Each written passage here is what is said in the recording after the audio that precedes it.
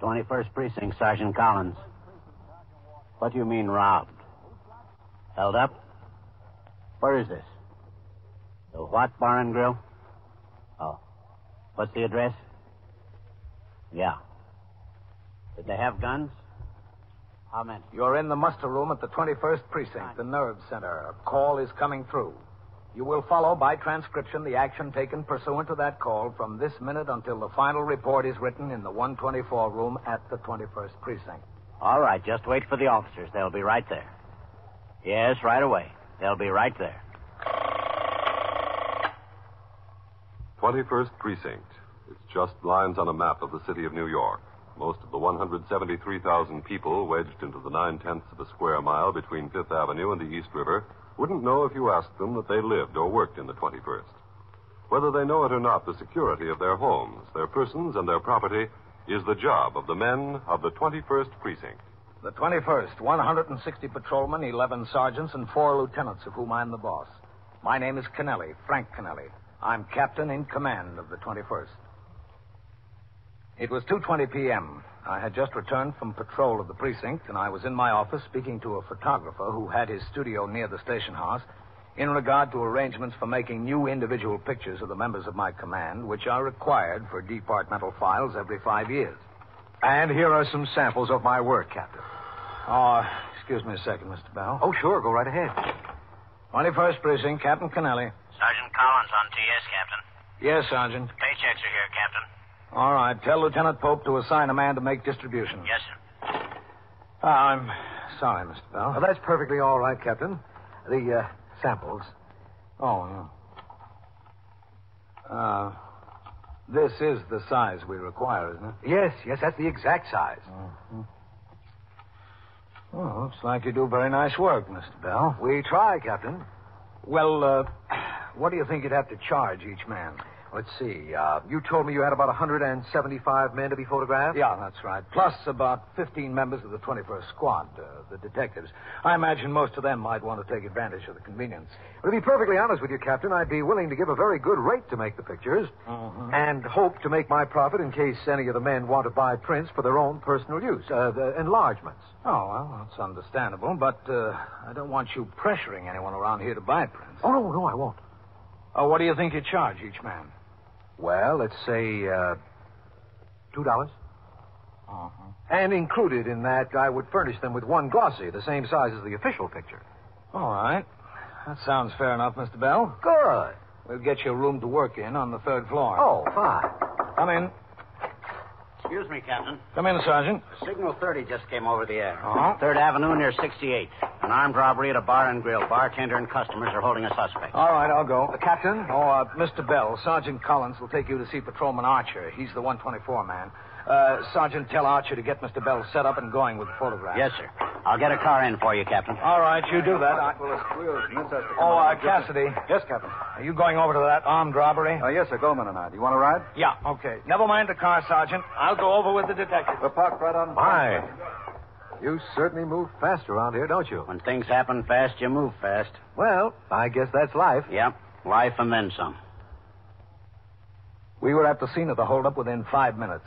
Patrolmen Owen Kenny and Ernest Pagano in sector car number three, the first to arrive in response to the radio signal, had taken custody of the suspect being held by the bartender and two customers. She was a young woman, hardly 20 years old. The victim and witnesses had told Sergeant Waters and other officers that the young woman, in the company of two men, also in their 20s, came into the place shortly after one o'clock and ordered drinks. When the lunch hour rush had dwindled to two patrons, the men got up from their booth, walked to the bar, flashed a gun, and held up the place. They took $230 from the cash register and fled, leaving the young woman, who said her name was Edith Hargrave, seated in the booth. Detectives Cassidy and Goldman began the investigation, and Edith Hargrave was taken from the scene of the holdup to the 21st Squad, where Detective Cassidy was in the process of making her fingerprints. All right, honey, it's not that bad. Uh, just hold the handle limp and let me do the work. Don't stiffen up like that. I'll try. That's it. Limp. Now give me the whole hand. Limp, that's it. Relax. Okay, that's all. Wash up over here. Where? Over here, Edie. Yes, There's soap and there's towels. yes, sir. Uh, what about the lieutenant? Is he still tied up? Yes, he is. Just plenty of that soap, Edie. That stuff comes off hard. Yes, sir. Very hard. Want to change your mind about anything, Edie? What do you mean, change my mind? There's towels. I mean, about how you told us you were never arrested before. I never was. Use the towels. Your hands will get chapped. Never was. Honest. All right, we'll see. Honest. Well, like for everything, there's always got to be a place time in there. In the trash basket. Okay, Edie. Come on. Yes, sir. Oh, I, I can take my purse, can I? Sure, bring it along. You're sure now before we get any farther? All right, sit down here. Yes, I'm sure. Here, Edie, sign this card here. What is it? What am I signing? Just says that you verify that these are your fingerprints. Oh. Where am I going now? To jail? No, not just yet. I want to go home. Cassidy. So do I. Uh, yes, sir. Okay. All right, Edie. In the office. Over there, to the desk. Yes, sir. Edie, this is Lieutenant King. He's the commander of the 21st Squad. Sit down, Edie. Yes, sir. Well, I understand you picked yourself some fine company. How was I to know? A smart girl finds out before she goes bar hopping with two guys like that. I didn't have a date with the two of them. I only had a date with one, Dick. That's the only one I knew. I didn't know the other. Honest. Did he ever tell you where he lived? Dick? No, he never did. Didn't you ask him? No. Why not? Well, if I asked him, I thought he might think I was curious about going there.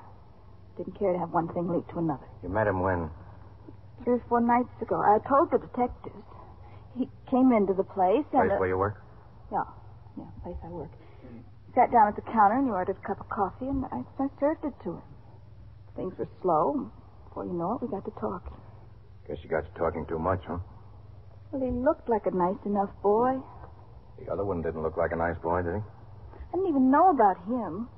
Dick and I had this date for this afternoon before I went to work. He came by for me, and the other boy was in the car. He said, We're all going out for a good time. I said, Has, has he got a date? And he said, He'll get a date. Meanwhile, we'll all go out and have a couple of drinks. So we went to these places, and you know. Are you in the habit of drinking in the daytime? Well, I worked night. You were out with him Sunday night. I, I told the detectives I was off Sunday night, didn't I? Yes, you told us. Where'd you go Sunday night? Went to a few places. Where, for instance? Gee, I don't know. A couple of bars, three or four. Well, where first? Down Times Square. Where in Times Square? Well, on Broadway, I think. Maybe 7th Avenue. I don't know. It, it was one of those places where the, bars are circle-like and people sit around watching musicians play on a stand-up behind the bar. Did he talk to anybody in there? Just me and the bartender to order drinks. Oh. Where else did you go? After that, Yes. to another bar near there. We had a couple of drinks there, too. I think I had a sandwich also. The only place he talked to somebody was much later. A man. Somebody he knew? Oh, yes. Where was this? Another bar. In Times Square, too. No. No, as a matter of fact, it was up around here someplace. Because I remember we came uptown through Central Park in his car, and we came out of the park at 65th Street, you know? I remember that. It wasn't far from there, on Lexington or 3rd Avenue, something like that. I had a few drinks. Well, who was it he talked to? Friend of his. Nellie. I remember Nellie. Thought you said it was a man he talked to. Nellie was a man. That's how I remember. I thought, how funny, a man named Nellie. Isn't that funny, a man named Nellie? What? I don't know. I didn't hear. You're going to have to help us more than this, Edie. Those two boys are wanted for robbery. I didn't have anything to do with it. I don't know anything about it. Well, you know something about it now. I hope it's not long before we all know a lot more about it. I returned to the station house at 4 p.m. in time to turn out the platoon for the night tour. Lieutenant King was waiting in the muster room for me. He said that he had already talked to the desk officers at the 19th and 23rd precincts. He would like a description of the man Nellie announced at each of the turnouts in the precincts on the Upper East Side in the hope that some patrolman on post was acquainted with Nellie or had heard of him. I invited him to make the announcement himself. With Lieutenant King, I stood behind the desk. It was exactly four o'clock. The 53 men who would patrol every inch of the precinct between that moment and midnight were lined up in the back room awaiting the signal of the desk officer. On the sound of the bell, they marched out into the muster room in a military manner and formed ranks facing the desk. Saunders. The roll was called for entry in the Scully. blotter. Taub. Yeah. Turner. Here. Underwood. Here. Weber. Here. Weeks. Present. Wolf. Present. Ziegler. Here. All right, man. A couple of things. We've had three or four complaints about peddlers annoying people on the streets to purchase toys and flowers. You see any of these peddlers on your post, I want you to stop them and examine their license. If they have no license, give them a summons. Or if they're causing too much of a nuisance, bring them into the station house. I want these complaints to stop. Also, beginning tomorrow and for the next two days, the photographer will be on the third floor to make official photographs for the department files before and after the 8 o'clock and 4 o'clock turnouts. Details are on the bulletin boards. Lieutenant King has something to say to you. Pay close attention. Lieutenant? We had an armed robbery in the precinct this afternoon. In the course of the investigation, we've developed the information that one of the suspects is acquainted with a man who hangs around a bar someplace on the east side. Perhaps in this precinct, perhaps in the 19th or 23rd. We'd like to locate the acquaintance in the hope he could lead us to the suspects. The acquaintance is described as about 35 years old, 5 feet 8 inches, and 150 pounds. He has brown hair, rather thin on top. We know he goes under the name of Nellie. On your posts, have any of you men run into a man of that description known by the name of Nellie? Lieutenant? Yes, Weber? Are you acquainted with a man named Nellie answering that description? Yes, sir. All right, you stay here. You're temporarily relieved from your post. Yes, sir. Sergeant, post the platoon. Platoon. Hands up. Right face. Forward heart. Weber, Yes, sir, Captain. come on to my office. Matt? Coming, Captain. Okay. Go ahead. Yes, sir. Which is your post, Weber? Number 11, Lieutenant. You know a Nellie, hmm? Yes, sir. He's one of the guys that hang out around there. Has he ever given you any trouble? No, he stays pretty clear of me, Captain. What does he do? He says he's a mechanic. He might be working at it, I don't know. Hangs around two or three bars there every night. Uh-huh. Had some information that he was hustling policy slips once a couple of months ago. Reported it, and the plainclothesman checked him out. Nothing to it, I heard. I do know he's done time. Oh? For what? Receiving stolen goods, Lieutenant. Recently? A couple of years ago, he got out. Wouldn't be surprised if he still gets into a deal once in a while. Uh, that's not his real name, is it, Nellie? No, sir, it's a nickname. His name's Bevan. Nelson Bevan. Oh, Captain, could we borrow Weber to work with us tonight? Oh, sure, Matt, if you need him. I'd like to send him up there with either Cassidy or Goldman to look around for Nellie. Know where he lives, Weber? No, sir, just where he hangs out. All right, that's good enough. We'll find him. Okay, Weber. Change into your civilian clothes. You got your work cut out for you. You are listening to 21st Precinct, a factual account of the way police work in the world's largest city. Men, we're offering you an opportunity to study the various operations and applications of the Mannheim Slide Rule. Well, perhaps this offer wouldn't appeal to the average clerk, journalist, or administrative specialist. But to the man engaged in technical or scientific work, it would mean something. If he were not already familiar with the Mannheim Slide Rule, he would be interested. He'd want to know how he could take advantage of the offer. He'd know that a working knowledge of the slide rule would be of considerable help to him in his job. He'd learn that the person to see is his education officer, who would tell him that the course in the application of the Mannheim type slide rule is offered by USAFI. He'd fill out an application to enroll in the course and take the first step toward power through knowledge with USAFI. Yes, he'd do that. If he were smart. Now back to 21st Precinct and Captain Frank Kennelly. As instructed, Patrolman Weber changed to his civilian clothes to assist detectives in their search for Nelson Bevan, also known as Nellie. While Detective Goldman sought information on Nellie through other means, Patrolman Weber took Detective Cassidy to the bars where he thought Nellie was a regular patron. The proprietor of one place told the officers that Nellie was indeed a steady customer and that he came into the place late almost every afternoon between 5 and 5.30. The two officers took a booth in the back of the place and waited.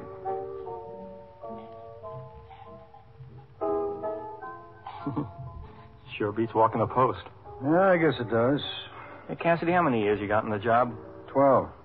And in the brains? Almost nine now. Yeah. How'd you make it?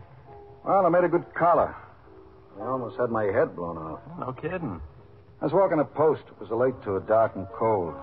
The only thing open on the block was this drugstore in the corner. I rang in for a personal. Well, I figured I'd go in there and warm up a little bit and maybe sneak a smoke.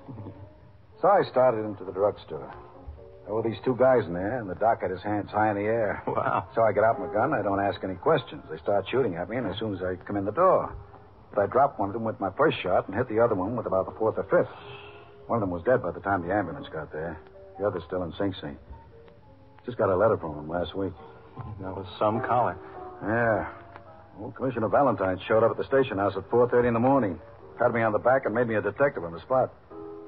Mayor LaGuardia had me down to City Hall the next day. For tea. Well, I'm trying to make it the other way.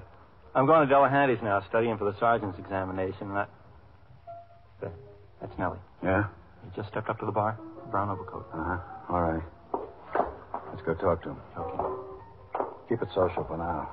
Let me spring it on him. Okay? Okay, sure. Hello, Nellie. Oh, how are you? Patrolman Weber. Sure, I know you. Patrolman Weber, sure. You're not working tonight, huh? Yeah, I'm working. No blue suit? Not tonight. Nellie, this is Detective Cassidy. Glad to know you. Yeah. Where you been keeping yourself, Nellie? I haven't seen you around. Oh, busy. You know me, Mr. Weber. Busy. I understand you're in the general merchandise business, Nellie. oh, you got me wrong, Mr. Uh... Cassidy. We've always got you guys wrong, huh? I'm out of that business, Mr. Cassidy. I've been out a long time. That right, Mr. Weber? You know me. Yeah, I know you, Nellie. How about a drink? Huh? How about a drink on me? No, thanks. Well, if you don't mind. Let's go. Skull. Nellie, Yeah, Miss Cassidy? where's Dick? Dick who? The guy you spoke to in here Sunday night. I don't know what you're talking about. I don't know any Dick. Come on. Let's take a ride to the station house. We'll talk about it there. Oh, Dick. Yeah, yeah. Dick. Where is he? I don't know where he is, fellas. Him and me are just strangers, practically. I was introduced to him just once, and I seen him here that night. What night was it? Sunday. Yeah, I seen him in here Sunday, and we had a few words. About what? Time of day. We just passed the time of day. Is that all? Yeah, you know. Hello, how are you? What's new? That's all. Come on, Nellie. Wait a minute. Wait a minute. Where is he? I don't know where he is. That's the honest to goodness truth. I don't know a thing about him. I don't even know his last name. What do you want from me? What did he want from you? You know the kind of reputation I got. He had a ring and a watch he wanted to realize something out of. I told him I wasn't in that kind of business anymore, and that was that. How did you meet him? Some guy pointed him out to me. What guy? What guy? I don't know what guy. I know a million guys. Just one of those things. I was standing on Second Avenue one afternoon last week, and he walked up to me. He asked me to come over and sit in the car, so I did. He had these things he showed me, and I told him I didn't want any part of them. What, is this guy hot, Dick? Uh, this Mr. Weber? Burning. Good thing I didn't have anything to do with him. What kind of car? Uh, it's a Hudson, I think. A tan Hudson. It's 49 or 50, something like that. Well, that checks, Cassidy. Everything I tell you checks. You know me, Mr. Weber. Yeah. You know me from way back. Too far back. Where is he? I don't know. That's the honest to goodness truth. Where does he hang around? How should I know where he hangs around? All I know about him is what I told you. I've seen him only that twice. Once when we had the merchandise, and once that Sunday night. I don't know him from Adam otherwise. I know nothing about him. You give me a stack of Bibles, I'll swear. I still wouldn't believe you, Nellie. You wouldn't? Come on, let's go in. Is that trip necessary? Yeah. Can I at least finish my drink? Go ahead. Well, skull again. Skull, Nellie. It was 5:45 p.m. when I signed the last report in my folder and put it in the letterbox with the other reports and communications to be picked up and taken by the precinct messenger to the 6th Division office at 160 East 35th Street. I got up from behind my desk and walked out into the muster room. Yes, sir, Captain? Go ahead, take the call. Yes, sir. 21st Precinct, Sergeant Collins. Yeah, Coley. Listen, walk around and talk to the owner of that dress store at 613 before he closes. Remind him again to set his burglar alarm correctly. We don't want to make another run there during the night. Yeah, all right. Yes, sir, Captain. I'm going to sign out, Sergeant. Yes, sir. Well, what time are you going out on patrol tonight? Sergeant Rosen is going to relieve me on TS at 8 o'clock, sir. All right. Take a turn by that ballroom on York Avenue sometime during the night. Make sure they've corrected the conditions we talked to the manager about, all right? Yes, sir. And uh, leave a report for Yes, me. sir. All right, Nellie. Step right up there. Where, here? That's all right. Hello, Weber. Captain? Sergeant, would you bring uh, up uh, to Lieutenant King for me? Yes, sir. Oh, you found him, huh? Yes, What kind of job is finding me? Who was hiding? Lieutenant King. Think I was the hottest guy in New York. Cassidy's here. He wants to talk to you. Okay, Cassidy. Take it over there. Good job, Weber. Thank you, Captain. We got Nellie, Lieutenant. Yeah, downstairs. He hasn't been much help to Cassidy, though. Who said I haven't? I can't tell him what I don't know. What do you want me to do? Kid him? Uh, yes, sir. He's here. I don't kid anybody. Yes, sir. I'll ask him. Thanks, Sergeant. Okay. Captain Lieutenant King wants to know if you've got a minute. Well, what's the trouble? Didn't say. All right, I'll come up. Okay, Nellie, let's go. Pillar to post. I'm going to the detective, Sergeant. Yes, sir. So I get shoved around. Pillar to post. We'll try to make it post to pillar, Nellie, just so things don't get dull. We walked out of the muster room and into the back room where two motorcycle patrolmen from motorcycle precinct number one were sitting at the table going over summons stubs preparatory to informing the desk officer of the summonses they had issued motorists in the 21st precinct. Then we climbed the rickety stairs to the second floor and walked into the 21st squad office. All right, Nellie. Sit down right there on the bench. Listen, Mr. Cassidy, you got any idea how long I'm going to be here? Why? Why, I got a business appointment. What kind of business? On a bench, huh? Yeah. Sit ah, down. That's two one. Captain, am I supposed to stay around here, or do you want me back on my post? Well, you see what Lieutenant King has to say, Weber. Yes, sir. Whatever he wants. Hello, Captain. Thanks for coming up. Oh, it's all right, man. Weber, good job. Thanks, Lieutenant. Keep him there a minute, Cassidy. Yes, sir. Captain, it's that Edith Hargrave. Oh? We checked out her prints. She's never been in trouble. I'm sure she's telling a straight story about this fellow, Dick. Uh-huh. Her boss called me. He says he knows you. A fellow named Audley. Runs a restaurant up on Lexington Avenue in the 80s. Oh, yes, I know him. She waits tables there. Audley said he'd vouch for her. What kind of a guy is he? He's all right, man. Been in business there a long time. He's never had any trouble that I know of. He's uh-huh. okay. Edie, you remember Captain Kennelly? When can I go? Can I go soon? Uh, I will see. You'd know this, Nellie, if you saw him, would you? I told you I would. All right. Walk over to the door there. Let me know if you see him sitting outside. Really? I want to go home. See him? Yes, on the bench. That fellow. That's him. All right. Cassidy, bring him in here. Yes, sir.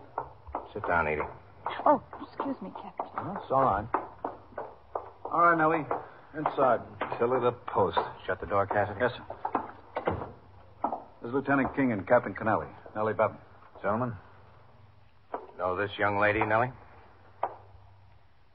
she looks familiar, I'll say that. She was with Dick on Sunday night when he met you. Was she? You know I won't. All right, Nellie, you can save yourself a lot of trouble. We want Dick and the guy he was with. We want them in a robbery this afternoon, and we think they're right for five or six more. Now, where is he? I said I know where he is. I don't know him that well. Look, mister, I don't want to waste any time with you. You told the officers he drives a 1949 or 50 Hudson painted tan. If you know that much, you know a lot more. How could I know a lot more? I've seen the car. You know where he stays. He told you where he stays, didn't he? No. Well, where do you think he stays? What, do you want me to speculate? Yeah, speculate. We'll go from there. Well, once in a conversation, he said he parked his car at nights near that museum over there. You know, on the west side, right off the park? Museum of Natural History? Yeah, that one. So? So if he parks his car there at night, he must stay around there someplace, don't you think? I don't know what to think, Nellie. We'll see what we can find out. The interrogation of Nelson Bevan, also known as Nellie, continued. Meanwhile, Lieutenant King had Patrolman Weber take the girl Edith Hargrave to a restaurant for a meal. After listening to the questioning for some minutes, I went downstairs, signed the blotter, and left the precinct to go off duty. At the end of an hour, Lieutenant King had gotten no more information from Nellie on the whereabouts of the suspects. He concluded that Nellie knew no more. It was decided to trace the suspects by attempting to locate the car parked on the street in the vicinity of the Museum of Natural History, located on the west side of Central Park between 77th Street and 81st Street. Inasmuch as this location was out of the 21st, the commanders of both the 20th and 24th detective squads were called. Each furnished two detectives, and with four men from the 21st, the search of the streets began later that night. Because of his work on the case so far, Patrolman Weber continued temporarily as the partner of Detective Cassidy. Shortly before midnight, they were cruising on Columbus Avenue looking for a 1949 or 1950 Hudson painted tan. Suppose we go up to the corner, take a right, and come back in the next block. Okay, Weber? Yeah, sure. We might be batting our brains out for nothing. Wouldn't be smart for them to hold on to that car any longer. They know we've got the girl. You give them credit for being smart, leaving her in the bar like that, taking her along on a robbery. Some of them get smart at strange times. Take a right, huh? Hey, Cassidy, look up there. Go on, straight through. 49 Hudson. Pull up ahead of it. Yeah. Let's have a look. I'm right with you. Of course, I grant you that not everybody owns a Hudson, but there's a few of them around. Yeah. Fill the hood. Warm? Will I try the door? Uh-huh. Well, what's the matter? This could be the car. Girl said she remembered a little blue knob on the steering wheel, like that one. Whoever left it here must be coming back for it. Yeah? There's a bottle of whiskey under the seat. Half full, too. Well, what now? Suppose you ring in to Lieutenant King. Yeah. Tell him what we've got. I think it's a car. Ask him to check out the registration, see if there's an alarm out for the car. Yeah, there's a candy store on the corner. Good. Use the phone in there. I'll keep my eyes on the car. Okay.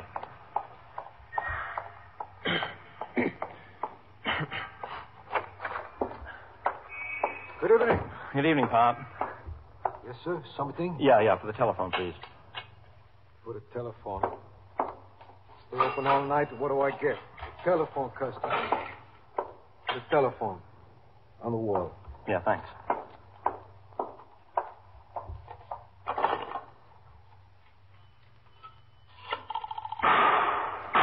Hey, what's that? I'm a cop. Get help. Hey, listen.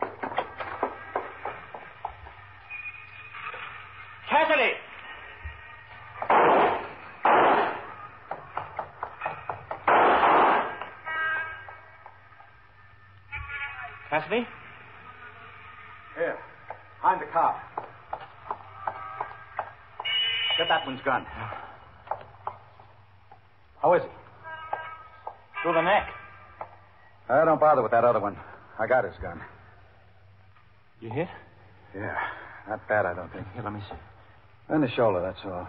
They came back as soon as you went inside. They started blazing away. You sure handled him, though. Yeah. Well, here I go again. Tea with the mayor.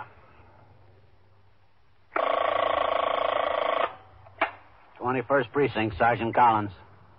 What is it? A kid? Who's the driver? You? He was what? Riding a bicycle? And so it goes, Where around the clock, through the week, every day, every year. A police precinct in the city of New York is a flesh and blood merry-go-round. Anyone can catch the brass ring, or the brass ring can catch anyone. 21st Precinct, transcribed. A factual account of the way the police work in the world's largest city is presented with the official cooperation of the Patrolmen's Benevolent Association, an organization of more than 20,000 members of the Police Department, City of New York. Everett Sloan in the role of Captain Kennelly, Ken Lynch as Lieutenant King. Featured in tonight's cast were Elaine Rost, George Petrie, Jack Orrison, Santos Ortega, Mandel Kramer, and Michael Dreyfuss. Written and directed by Stanley Niss. Art Hannes speaking.